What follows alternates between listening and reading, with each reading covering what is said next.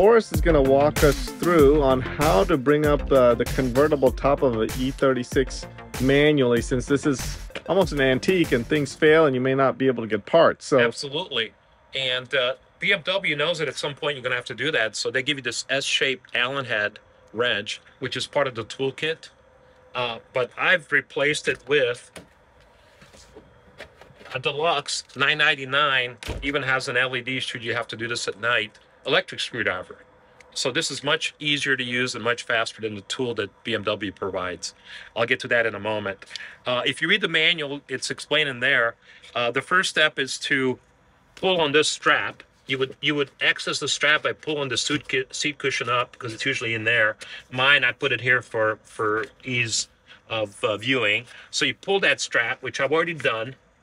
And what that does, that lever, as you can see it move out, uh, what that does, it dis disengages the two electric motors. One that operates this lid up and down, and the other one that operates this top up and down.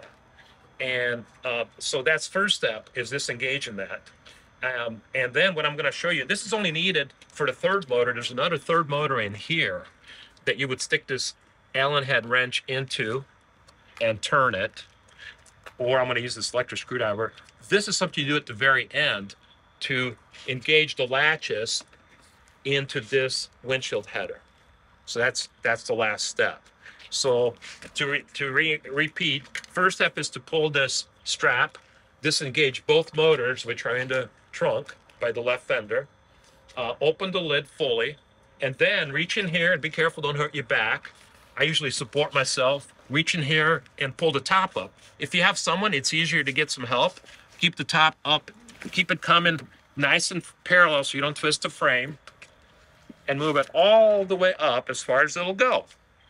And then you reach back here, pull this portion up, drop the lid down like that, drop the top down like that.